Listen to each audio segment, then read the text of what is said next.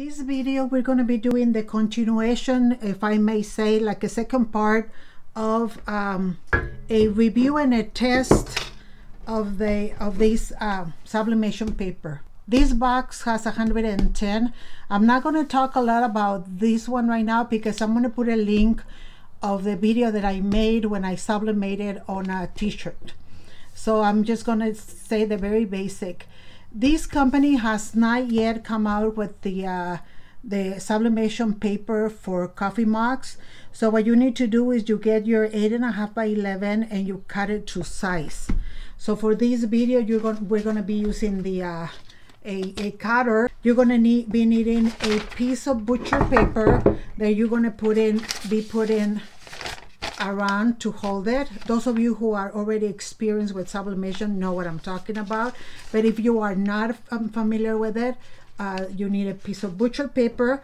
Of course, you need your uh, print sheet that I already cut to size to do what I want to do. And the coffee mug that you want to use. So you're going to need your coffee mug and you're going to need heat tape. Also, I'm going to put links of all the items that I that I'm using for this video, so you can just click on the link and you can go purchase them. Okay, so that's what we did. We we just um, cut the the the uh, piece of paper that we need to the size we needed and this is the side that you use to print the white and this is slightly like a pinkish but very very light but you print on the white side okay and these uh, this company, their paper requires for uh, mugs requires uh, 356 between 356 and 374 for 170 or 190 seconds in between that and a medium um, medium pressure. Right now just a little thing that i said also on the other video i have never seen a sublimation paper that holds the color so vibrant uh, and that's one thing that I really like. If you look at the image, see how nice and vibrant they are? So we're just going to go through the process. I'm going to go ahead and um, and put the the image where I want it. I'm going to tape it. Then here we are. I got this from Heat Press Nation. If you haven't purchased from them, go ahead and check them out. They are super good. The, the machines that they have are super nice and very durable. So you can see here that I have my temperature at 374 Fahrenheit in 190 seconds. So what I'm basically going to do, I already, uh, I think I have that already what I needed. The last thing I print was a coffee mug. So let's see here. So all I'm going to do is put my coffee mug in there and see if the pressure is sufficient right there. So there it is.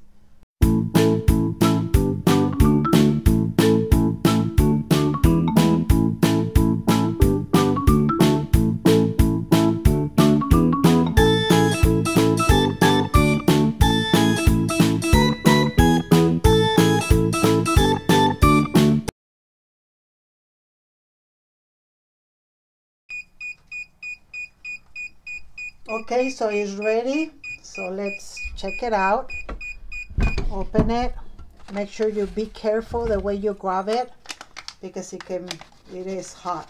I always like to have a microfiber uh, rag uh, to to hold it.